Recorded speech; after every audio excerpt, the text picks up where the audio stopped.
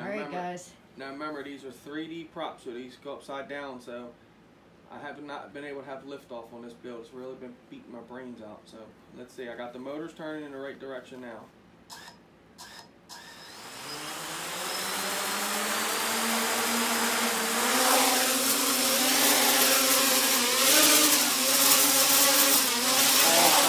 That's it.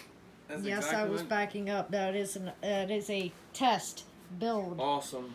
So, good job.